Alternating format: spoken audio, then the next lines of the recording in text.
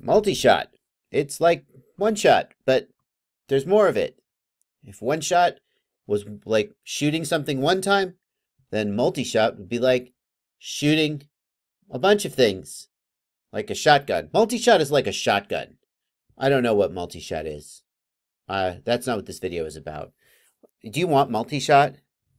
Some people want multi-shot, and for those people, this is where you can get it. You go to this post, and you download it. If you're like all the cool people, you get the version that plays the Imperial March when you power up. But if you want to be different, there are some other versions. The only difference is that they play a different sound. I'm going to give a try to the fast start one because I like to be different and I don't want the Imperial March to play every time I power up my copter. So I'm going to give the fast start a try and I'm going to show you how to do this and flash it to your ESCs. Let's get started. So go here, then we'll download this zip file. Here is the zip file. Inside the zip file are a bunch of hexes. The next thing you can do is you can start up BLHeli Suite, and it would be a good idea to just check and see what firmware is currently on your ESCs. You will need to plug your ESCs in before you do that. Have your props off, have a current limiting light bulb in hand. I'm serious about the current limiting light bulb this time. You're going to flash a weird firmware to your ESCs and if you flash the wrong one, you really can smoke something. So definitely have a current limiting light bulb. Yeah, definitely have a current limiting light bulb. So let's see. We've got here, this is the FVT LittleBee 20 amp 14.5 firmware.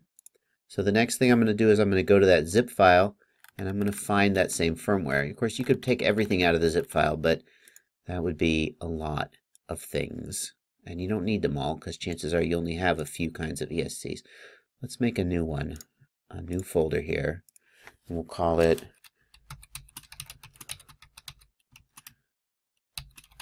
BLHeli multi-hex files. All right. And now I'm going to go and I'm going to find my LittleBee. There we go, FVT LittleBee 20 amp. You'll notice there's several different versions of each one. If you're flying a multi-rotor and not a helicopter, you want the multi version. So this is FVT LittleBee 20 amp multi Rev 14.5 hex. That is the one for me.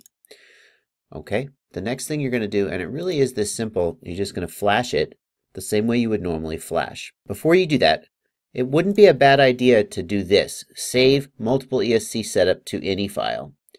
This will save the setup for all four of your ESCs to this ini file on your hard drive, and then if for some reason during this flashing you lose your configuration, you can read the setup from the ini file and restore it. So that's a little quick thing you can do before you, just anytime you want to save your config. So I'm going to hit Flash BLHeli. And normally what you would do is you would pick from this pull down list the version you were going to flash, but that's not what we're going to do. We are going to go our own way. Thank you, Stevie Nicks. Ignore the list, pick a file. That was Stevie Nicks, right? I think that was Stevie Nicks. Okay, yeah, that was Fleetwood Mac. So that's Stevie Nicks, right? Okay.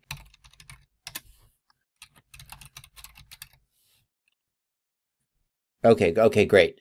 We're answering the important questions. Yes, that was Stevie Nicks. I'm going to pick the file. Again, just double check that it's the same. FVT LittleBee 20 amp multi BLHeli Rev 14.5 is what's on there now. And we're going to put on there FB, FVT LittleBee 20 amp multi BLHeli Rev 14.5. So we're putting the exact same firmware over there. And we're going to flash. Again, this is why you use a smoke stopper light bulb just in case you've done something wrong. Just in case. We would hate to burn an ESC. It's cheap insurance. Okay. Do you want to write the current settings to the ESC? Yes, yes, please. And you're going to keep doing that. By the way, suggestion for the devs.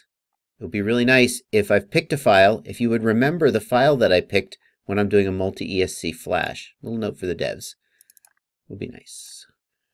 Okay, there we go. Now just double check that your settings have transferred correctly, and they should. And that should be it. Oh, there we go. Nice quick little startup tone. So then there's one more thing you need to do, and that is tell CleanFlight you would, thank you very much, like to use multi-shot. And you do that by going in the CLI.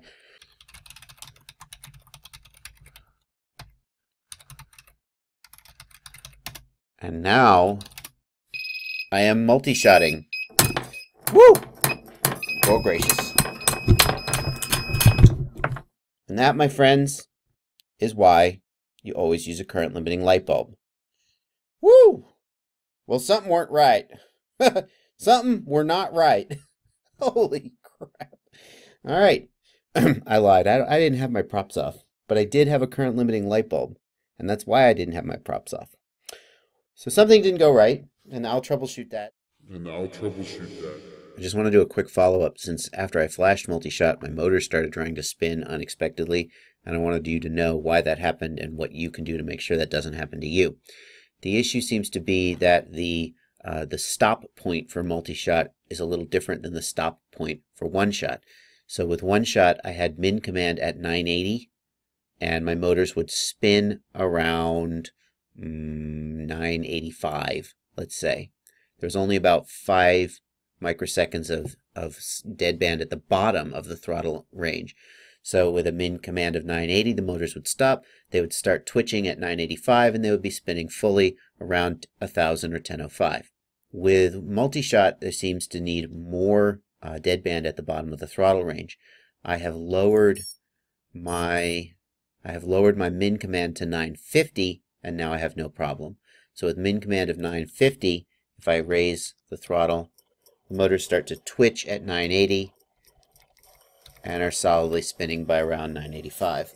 So, uh, so that's the issue. If you performed the uh, BLHeli calibration procedure I gave you in a previous video, the one thing that you should do before you upgrade to multi-shot is reduce your min command. You can then rerun the calibration procedure as you see fit. It's the same procedure, but you need to reduce your min command. The number I gave you of 980 may not work for you. The thing is, there's generally no harm in having a low min command. Min command is only applied when you're trying to stop the motors. So a min command of 950 or min command of 930, you know, most of the time, as long as you don't go outside the range of a valid signal, it doesn't really matter. As long as it's low enough to stop the motors, that's all that matters. So something didn't go right, and I'll troubleshoot that. But in general, what I just did should be what you need to do to enable multi-shot.